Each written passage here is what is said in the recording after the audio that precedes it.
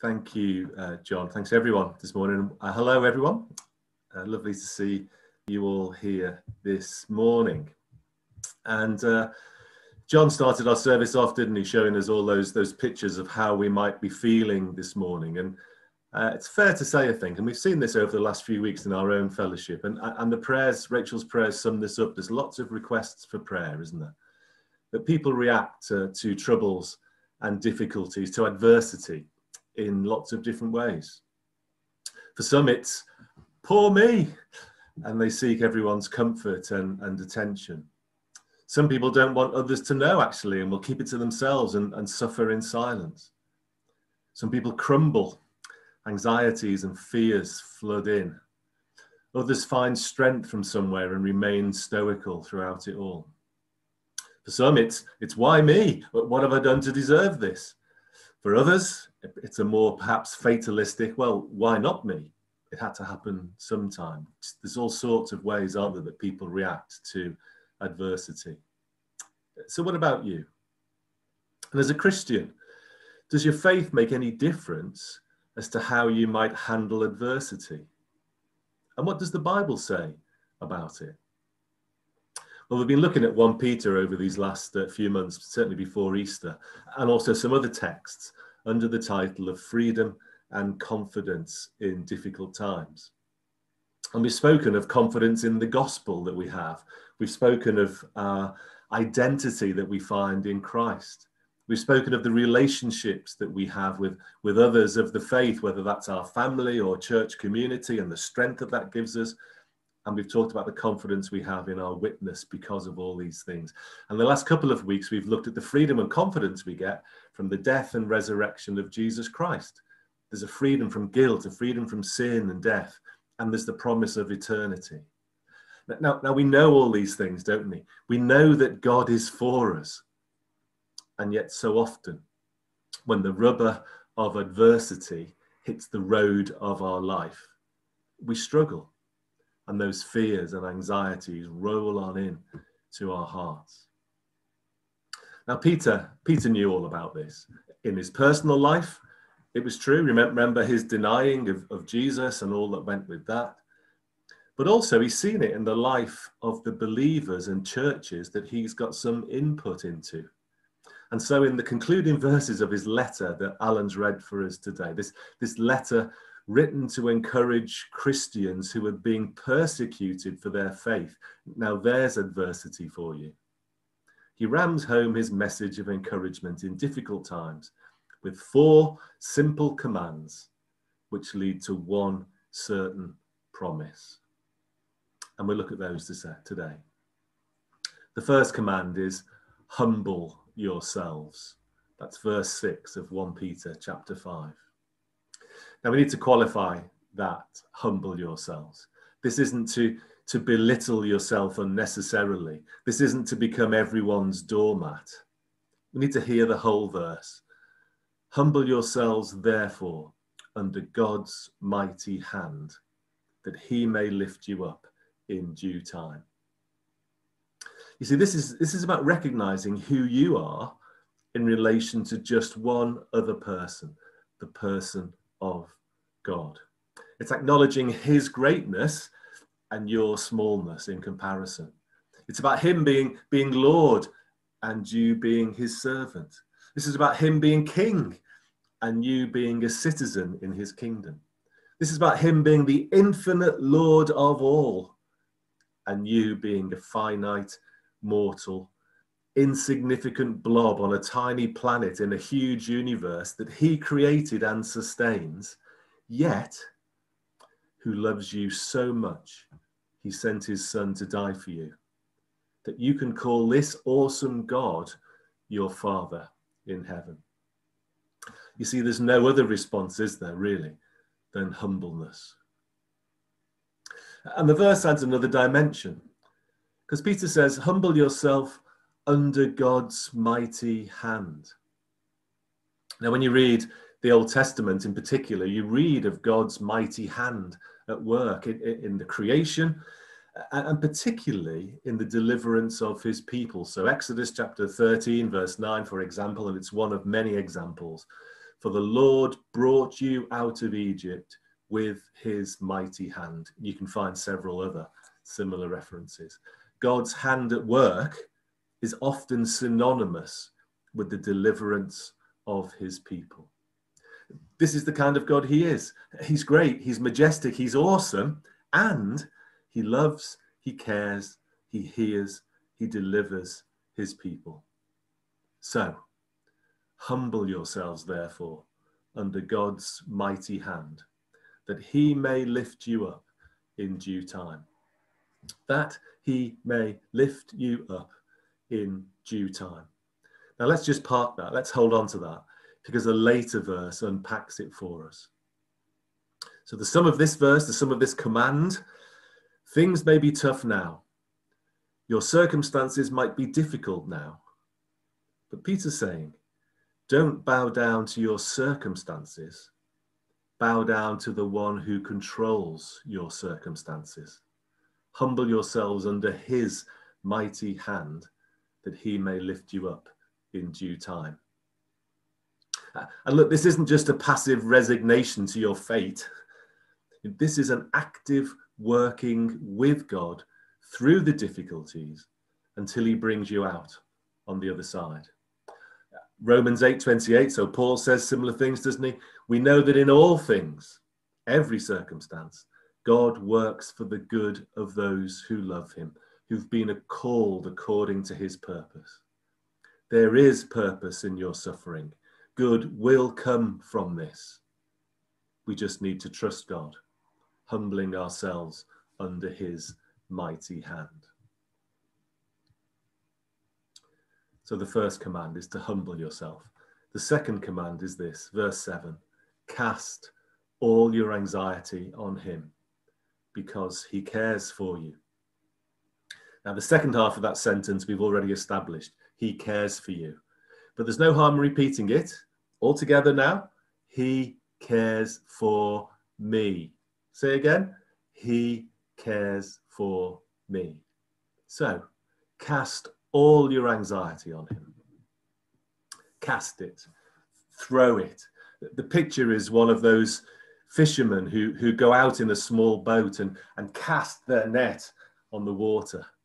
It's quite a skill. Have you ever seen anybody do it or ever tried it yourself, perhaps? It takes practice to perfect. He throws, the net spins, the weights on the net bring it down squarely on the water. It sinks and it traps fish as the weights close around those fish. We have to cast our anxieties onto the Lord. It's a deliberate action, it doesn't happen automatically. I don't know, imagine it how you will. Gather your anxieties in your hands and, and throw them at God. Here you are, Lord, they're yours now. Oh, did I mention you have to let go? I read a story this week about a young lad who'd been sent to the store to get a sack of grain.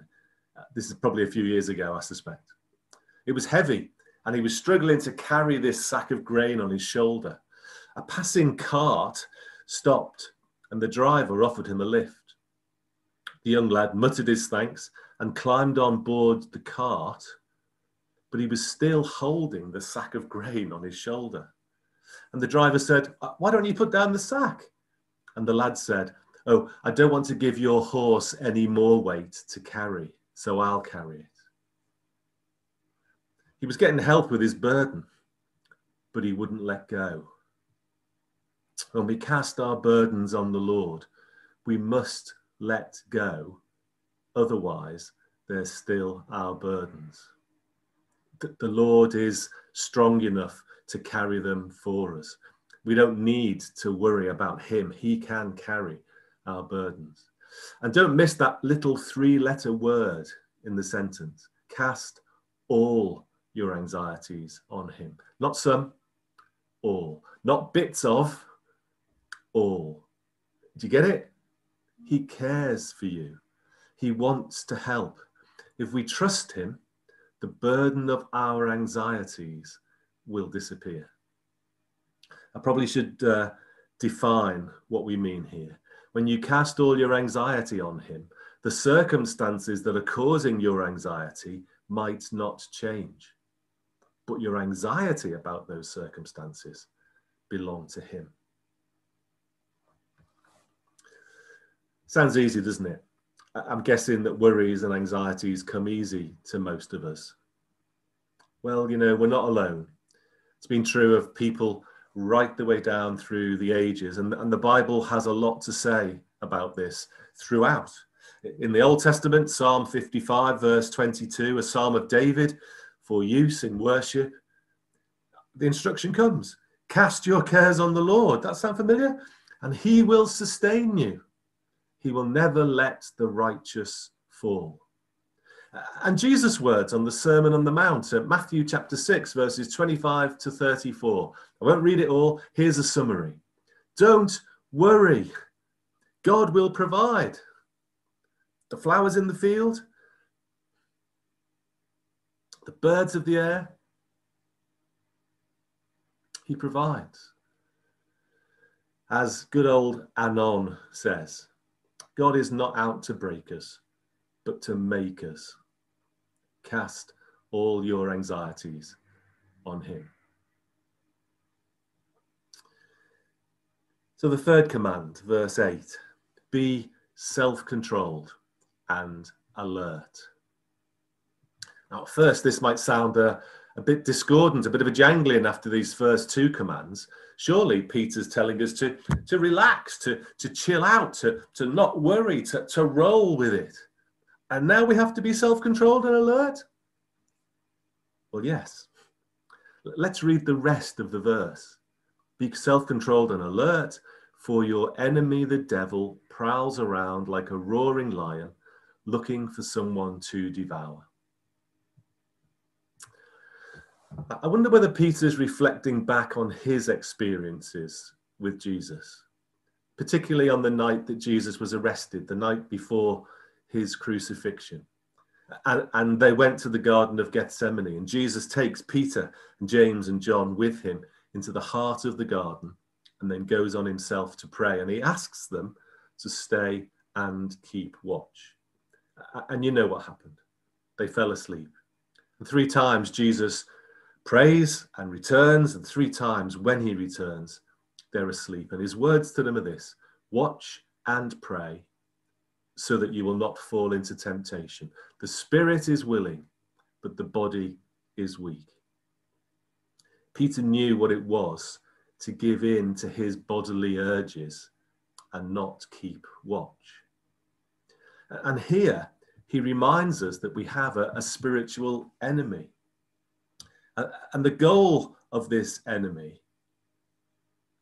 is to hinder us from being the kind of disciples that will make a difference in the world. And he employs all sorts of tricks.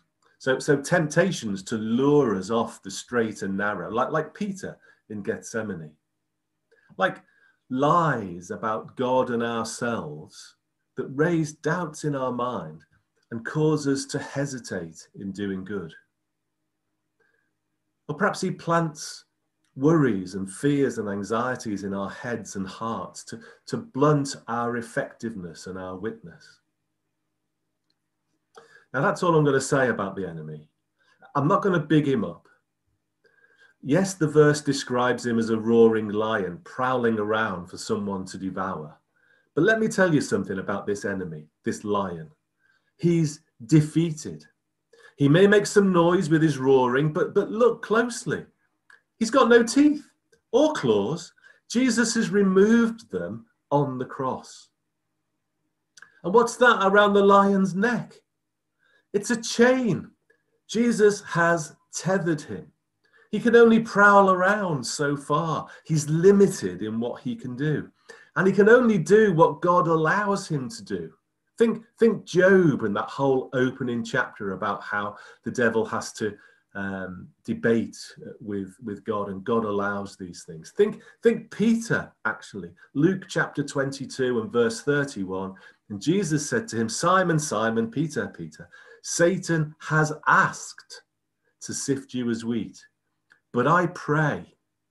What did Jesus pray? That, that Satan wouldn't? That, that he would leave him alone? No that you can stand strong against his wiles, that your faith will not fail. Look, the only harm, the only way this lion can do any harm is if you go and play with him. If you give him a foothold in your life, if you yield to those temptations, if you believe his lies, you know the kind of lies? You're not good enough to do this. Did God really say that? Call yourself a Christian. Don't give in to those lies. Don't believe those lies.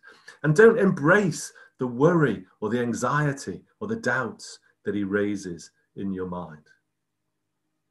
This is why we need to be self controlled and alert, to spot the wiles of the devil and to walk around them and through them with Jesus.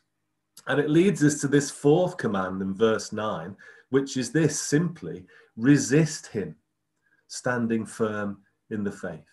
You see, we don't need to give in to the enemy. It's possible to resist him because Jesus has defeated him and removed his power from him.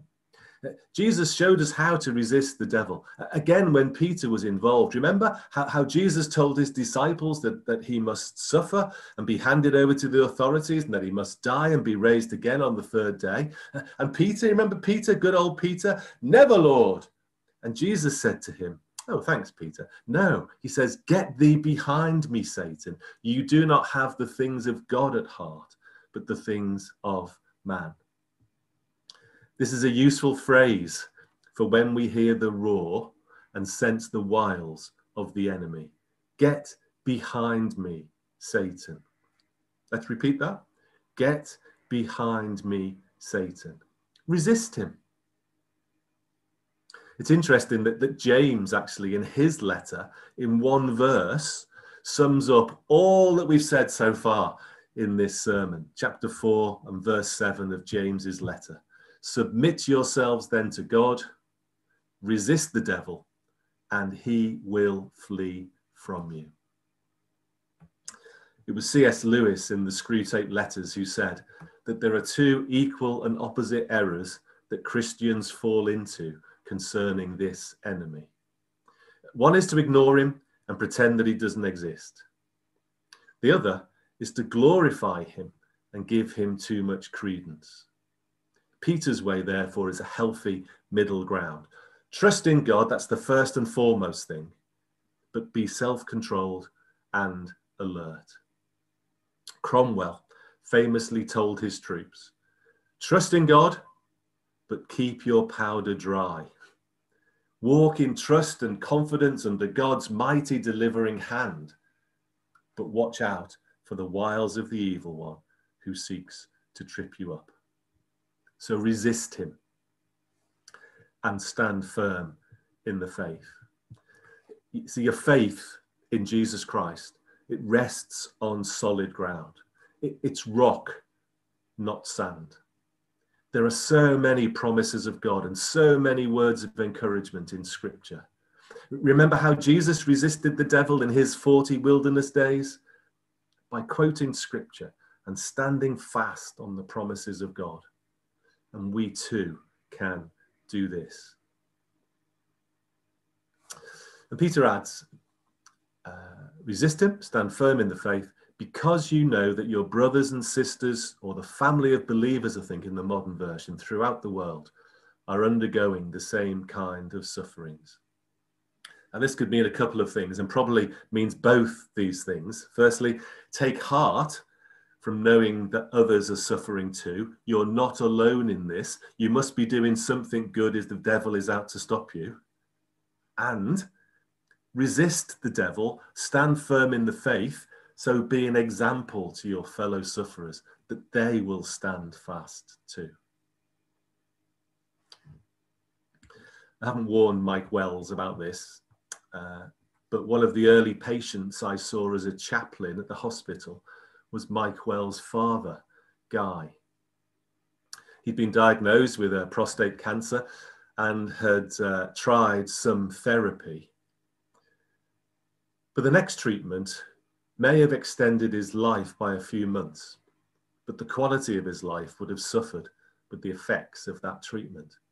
And Guy decided to refuse the treatment, arguing that if the Lord was calling him home, then why should he hinder that? He was going to a better place. I can't tell you how powerful that, that was to me as a, as a chaplain in my early days there. Most people, of course, not wanting to die, mo- most people fearing death. And that kind of response that, that Guy took, that decision that he took, it just makes you ask questions, doesn't it, of, of yourself? If I was in the same place, how would I face death? How will I face death? Because sure as eggs is eggs, one day it'll happen. My faith tells me that to live is Christ and to die is gain. My faith tells me that heaven is the goal of my faith and it's my true home anyway. I know that, but when that moment comes, will doubts and fears creep in? Will I seek to prolong my life at all costs? Actually, how firm a foundation is my faith to my life? How will I respond to adversity? Well, Peter's given us these four simple imperative commands humble yourselves, cast all your anxieties on him, be self controlled and alert, and resist the devil. And here comes the one certain promise in verse 10 And the God of all grace, who called you to his eternal glory in Christ, after you have suffered for a little while, will himself restore you and make you strong, firm, and steadfast. Remember in verse 6 when I said, let's hold on to that, it gets unpacked later. Verse 6 was that he may lift you up in due time. Now in verse 10, the God of all grace, who called you to his eternal glory in Christ, after you have suffered for a little while, will himself restore you and make you strong, firm, and steadfast. This is an honest verse, isn't it? There may, there will be suffering in our lives. God has never promised us a rose garden. Along with the sunshine, there has to be a little rain sometime. And it's unrealistic to expect otherwise. James, in his letter again, calls his readers to, to consider it pure joy whenever you face trials of many kinds, because you know that the testing of your faith produces perseverance. And perseverance must finish its work so that you may be mature and complete, lacking nothing. And Peter echoes these words here. We need some rain in our lives for the flowers to bloom. But after this suffering, Peter brings this promise from God He will restore you. The word there is used for, for mending nets, for, for setting a fracture properly, Roger, by the way, not just, you know, not just badly, but properly setting a fracture, for, for making you whole again. He'll make you strong. He'll establish you. He'll harden you like a metal that is tempered by fire. He'll make you firm. That, that's, that's fit, not flabby. He'll make you steadfast. He'll lay your foundations. He'll give you this bedrock of faith to stand on. You'll be able to sing along with the seekers. Remember them? Apologies to anyone under the age of 60. We're on our way to heaven we shall not be moved. To live is Christ, to die is gain. That's the promise if we follow those simple commands. Peter rounds off the, the letter, these verses, with a doxology. To him be the power forever and ever. To God be the power forever and ever. Amen. It's not quite the end of the letter. He tags on greetings and another command to greet one another with a kiss of love, something we'll be able to do, hopefully, in a few short weeks when we're all back in church. And then there's this final blessing peace to all of you who are in Christ. And you know, that's the sum of it all. If we are in Christ, if we've put our trust in Him, if we've given our hearts and lives to Him, if we've invited Him to be our personal Savior, if we belong to Him, then there is peace in him, whatever the circumstances. Not anxiety, not worry, not wavering, not weakness, but strength and peace from the God of all grace.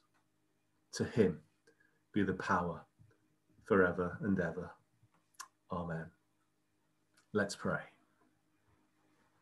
Lord, we thank you for these words. Lord, we thank you uh, again, Lord. We stand in awe of how your word speaks into our lives, time after time, sentence after sentence, word after word, and speaks, Lord, right into our hearts and gives us, Lord, uh, uh, that newness of faith, that, that reminder, Lord, of your promises and, and your goodness, of your faithfulness, of your strength, of your power that's at work in our lives.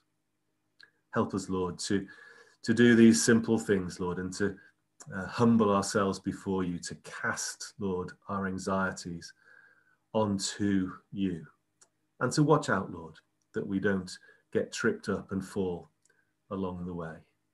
Thank you, Lord, for this promise that you will restore us. And we trust in you, Lord, that whether in this life or in the next, Lord, we stand strong in you. Praise your name. Hallelujah. Amen.